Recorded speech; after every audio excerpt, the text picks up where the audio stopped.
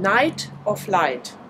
Auch bei uns in Lattbergen wird ein Gebäude rot angestrahlt. Das machen die Veranstaltungstechniker, um darauf hinzuweisen, dass sie in der Corona-Krise ja auch unter wirtschaftlichen Repressionen leiden.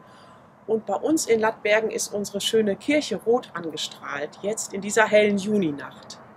Night of Light, das könnte eigentlich auch ein Motto unserer Kirche sein. Jesus Christus hat von sich gesagt, ich bin das Licht der Welt.